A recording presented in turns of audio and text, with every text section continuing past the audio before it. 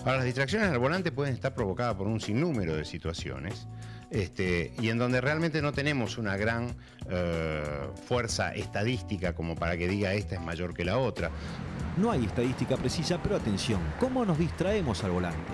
Buscando el CD, hablando por celular, leyendo un SMS, mirando de reojo una revista, carta o documento, discutiendo, ni hablar de comidas varias o del mate. ¿Por qué entonces se ataca solo al fumador?